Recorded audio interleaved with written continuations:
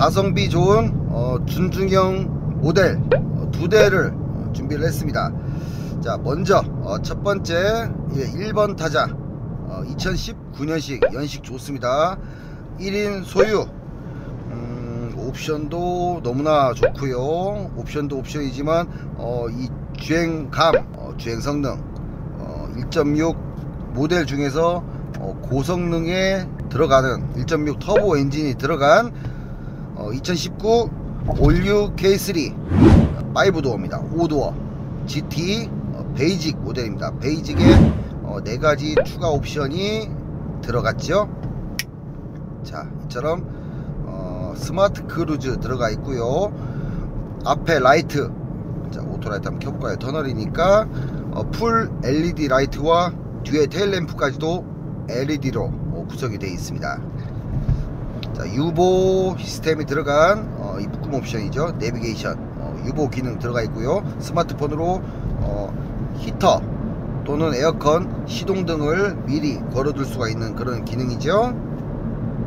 자, 사각지대 경고, 뭐 차선 이탈 이런 active safety에도 충실합니다.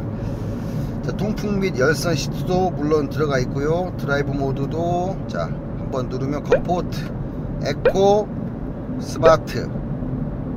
sport 모드는 아마 요 드라이브 모드 이걸 눌러서 사용하는 게 아닌 이 기어 레버를 옆으로 제끼면 이게 sport 모드입니다. 바뀌죠?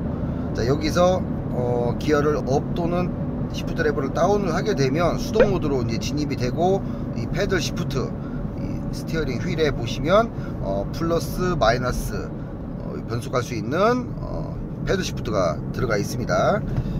자 현재 어, sport 모드를 한번 더 봤으니까 이 차는 스포티하게 타라고 태생적으로 이렇게 만들어 놓은 차량이니까 스포티하게 한번 타볼게요. 자 구간 단속이 있으니까 어, 좀 천천히 갔다가 어, winding에 진입을 하면 어, 이 올뉴 K3 GT 1.6 터보 엔진 204마력에 달하는 자, 일반적인 K3와 일반적인 아반떼 1600cc와 어, 이 출력 차이가 어마어마합니다. 상당합니다. 보통 1600cc 어, 지금 나오는 뭐 아반떼도 마찬가지고 K3도 엔진 미션은 같으니까 한 120마력 후반대 130마력 내외로 출고가 되죠. 하지만 어, 아반떼 스포츠 그리고 이처럼 K3 GT 모델의 경우는 자 204마력 어, 1.6 터보 엔진이 들어간다라는 거 볼게요. S 모드 상당히 기대가 됩니다. 자 현재 이 내리막길인데 어, 스포트 모드로 놓게 되면 RPM을 조금 띄워서 이렇게 유지를 하는 그런 성향을 보입니다. 아무래도 이 엔진 브레이크가 적절하게 걸리면서 이렇게 프로그램이 이렇게 되어 있는 것으로 딱 보이네요. 자 주행거리는 9만 1000km입니다 어, 1인 소유 차량이고요 신차 가격은 한 2,500이 좀 넘어갈 겁니다. 이 차가 추가 옵션 포함해서 자, 달려볼게요. 저는 아직도 이 재밌는 차량을 탈 때마다 이야, 이 좋습니다. 어, 너무나 기분이 예전에 참 이 고성능 차량을 많이 타봤는데 자 앞에 스트레이트가 딱 펼쳐졌으니까 한번 타볼게요. 아 이 뭐 배기음 좋네요. 야, 이 살아있네. 이 살아있네. 이렇게, 아, 이 서스펜션이 확실히 달리라고 만든 차량답게 어, 일반적인 K3와 세팅이 많이 다릅니다. 이 스티어링 휠에 조금만 꺾어도 어, 바로 이 앞머리가 딱 들어가는 스티어링 기어비가 좀 짧은 것 같아요 아마 이 스티어링 기어비 자체도 일반적인 세단의 K3와는 어, 다를 것으로 생각이 됩니다. 굳이 이 paddle은 사용하지 않고 어, sport 모드로만 한번 타볼게요. 어, 알아서 엔진 브레이크 걸어주고 좋네요. 어, 굳이 수동 모드로 이렇게 뭐 썩기처럼 타실 필요는 없을 것 같아요. 타이어만 조금 좋은 거 써주신다면 미쉐린 PS4 정도. 어, 이 정도 쓰시면 아마 어, 만족감이 굉장히 올라갈 것 같아요 현재는 금호 타이어에 어떤 사계절 타이어가 어, 들어간 것으로 결핍 봤는데 일반 그 미쉐린 타이어 어, 이제 그 아반떼 스포츠도 그렇고 어, 아반떼 N도 있죠. 어, 그런 경우에는 이제 보통 어, 접지가 좋은 어, 그런 그 고성능 스포츠 타이어가 적용이 되는 경우가 많습니다. 순정으로도 하지만 가격이 좀 비싸죠. 사계절 타이어가 아무래도 일반적인 환경에서는 타시기 무난하고요. 뭐 소음도 그렇고 이 마일리지도 좀 길기 때문에 거기에 또 가격도 좀 저렴하고 뭐 일반적인 분들은 이 정도 쓰시면 됩니다 사실은. 음, 아까 잠깐 이렇게 뭐 약간 스포티하게 몰아보니까 뭐 이지만에 여기 뭐 제 휴대폰도 그렇고 이 카메라 어, 이 거치대도 그렇고 아 움직이니까 난리가 났어요 자, 이 뭐 운전 재미는 아주 뭐 쏠쏠합니다. 일단 기본적으로 성능이 받쳐주기 때문에 어, 1600cc에서 200마력이 넘어간다라는 건 상당한 그 고성능이죠. 자, 일반적인 어, 1600cc 보통의 세단들과 한 70마력, 어, 60몇 마력 이 정도 차이가 나기 때문에 어, 토크는 뭐 말할 거 없습니다. 토크 역시도 어마어마하게 차이가 납니다.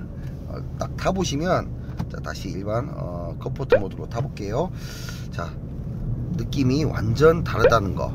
어, 세팅도 다르고 이 브레이크도 어, 뭔가 모르게 다릅니다. 확실히 어, 잘 달리는 차량들은 그만큼 잘 서주는 게 중요하기 때문에 브레이크도 어느 정도 보강이 어, 되어 있는 것으로 이렇게 생각이 되고요. 분명 이 메이커에서 절대 어, 같은 K3를 하더라도 어, 일반적인 어, 자연업기 1600cc 차량과 이처럼 터보 엔진이 들어간 고성능 차량의 세팅은 어, 달리한다라는 거. 이, 그게 맞는 거죠? 자 9만 1000km 어, 주행거리 말씀드렸죠? 옵션도 어, 충분합니다. 아까 말씀드렸듯이 뭐 통풍 시트까지 지원을 하고 어, smart cruise 되고요. 어, 사각지대 경보장치 UVO 내비게이션 시스템 paddle shift 어, 어,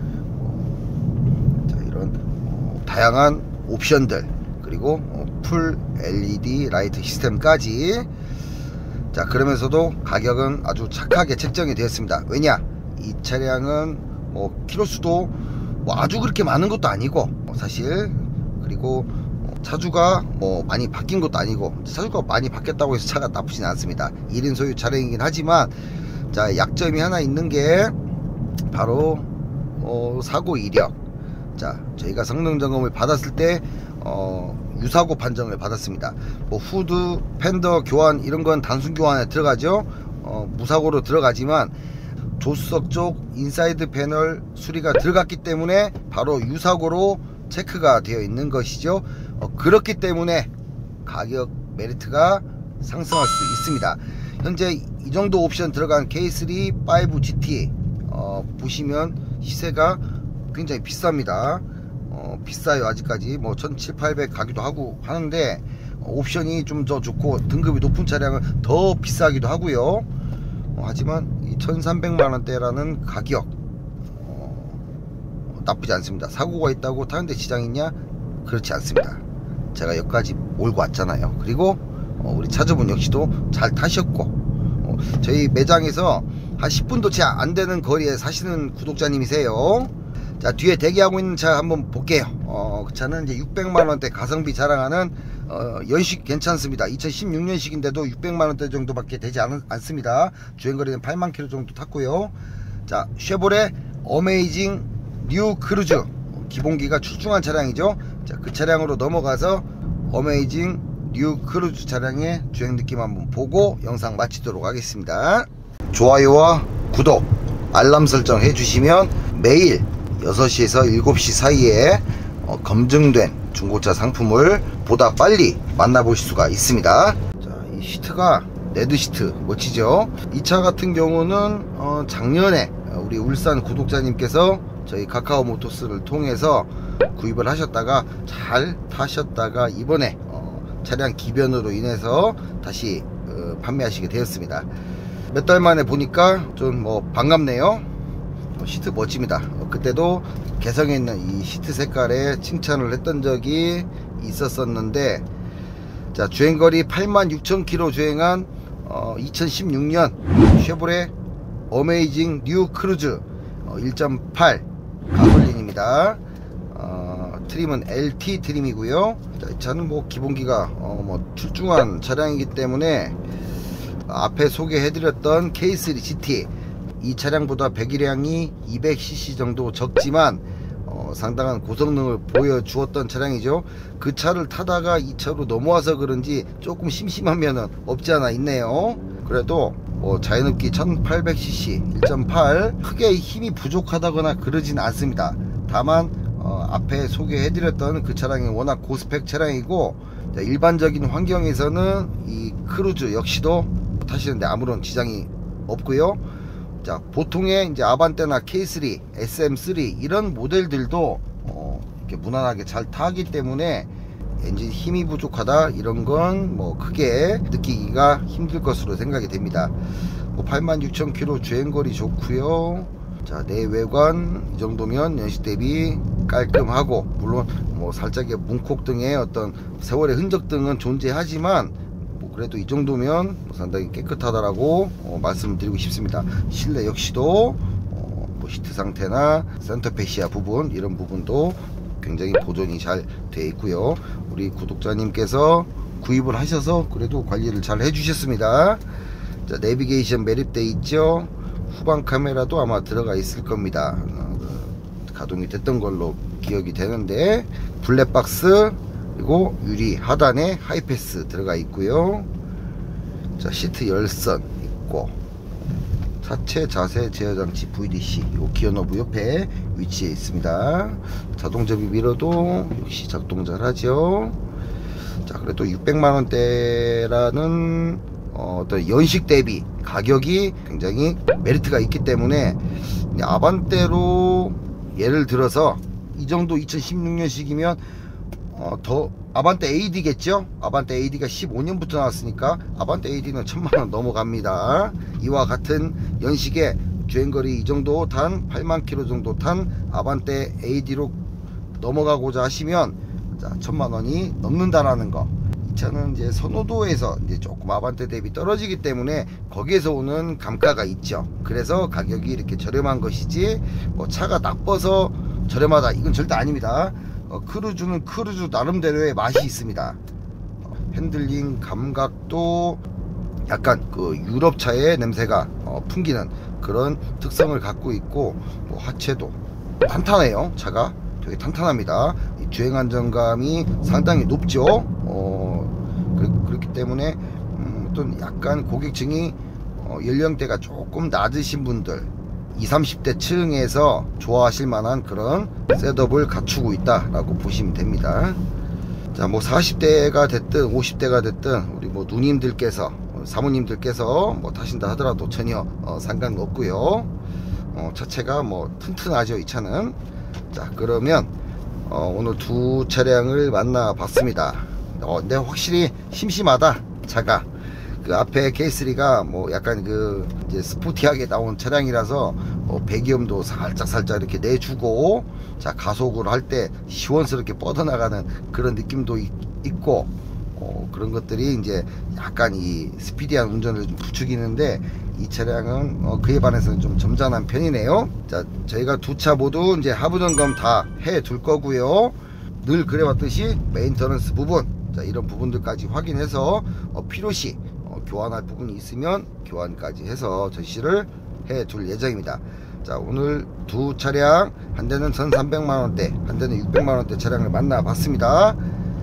자 내일 또 어, 떤 차량이 일단 순위에 들지는 아직 미정입니다. 어떤 차량이 주인공이 될지는 늘 어, 좋은 상품성으로 가성비 좋은 차량으로 어, 이 소개를 해드리고 있는데 초심 잃지 않고 늘 여러분들께서 어, 저희 카카오 모터스를 믿어주시는 것처럼 어, 항상 열심히 열심히 해서 어, 좋은 차량으로 보답하도록 하겠습니다. 자 오늘 영상 에서 마치겠습니다